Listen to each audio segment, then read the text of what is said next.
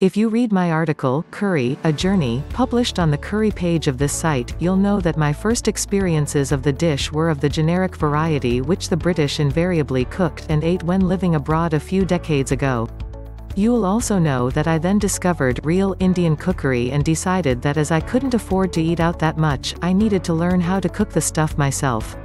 My first stop then, was a local bookshop, where the choice of books on Indian cookery was somewhat limited. However, I struck lucky and discovered a book called Indian Cookery by Madhur Jaffrey, what a find. Written in simple language but with lovely descriptive text and recommendations on what to serve with what, it was just what I had been looking for. There was a stumbling block, however, which was the endless list of spices, seasonings and flavorings in the front of the book. I didn't know where to start, I'd heard of quite a lot of them, having watched a few TV programs on Indian cooking but, help, I thought, buying that many all at once is going to cost a fortune. If you're thinking the same, don't panic. Check in your store cupboard. You probably already have some of the items you will need.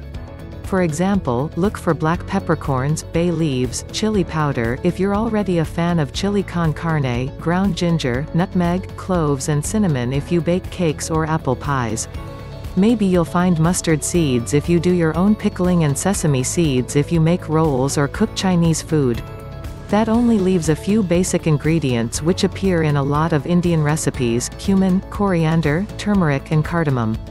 Often you need ground cumin and coriander but if you buy the whole spices, you can grind them as necessary and they keep longer that way too.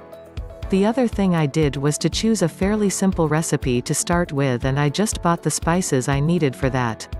The next time I want to cook an Indian meal, I chose another recipe with similar ingredients so I had to just buy a couple more things. Soon enough I built up a whole store cupboard of the things I needed and it didn't have had such a drastic effect on my wallet.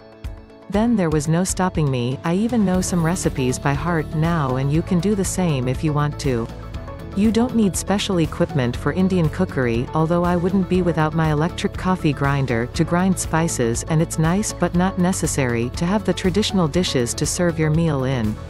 Other than that, you need a bit of patience and it's fun to cook with a friend so that you can share the chopping and grinding or have someone read the recipe out to you step by step so you don't go wrong in the middle. The flavors are great, a curry evening is really sociable, so go on, give it a try.